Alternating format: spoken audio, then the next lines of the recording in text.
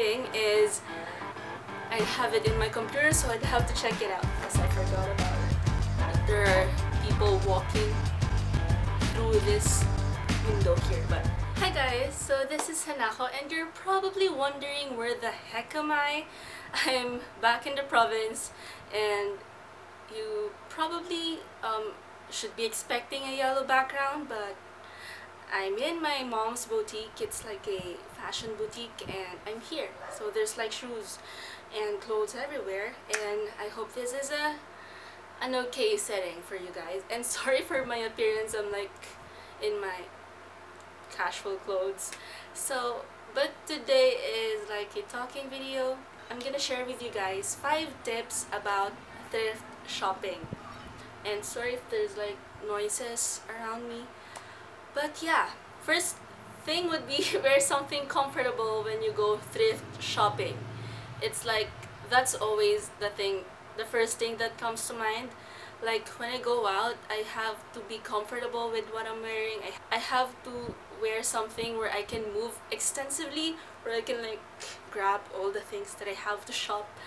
And yeah, that's probably the first tip that I would suggest. So the second thing is always make like an imaginary list or maybe you can literally make a list of what are the things that you want to find in the thrift store. Just imagine what are the things that you want to find for example a maxi skirt shorts shirts um, skirts.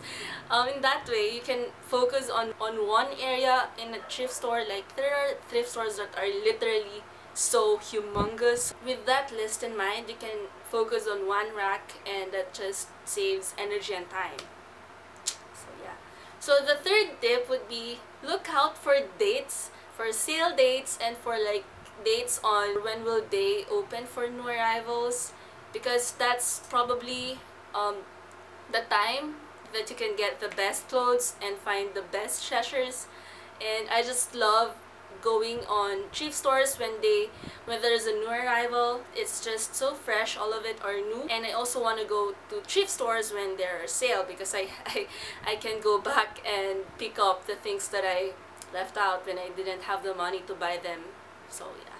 The fourth thing is um, you can always go with a friend for discounts.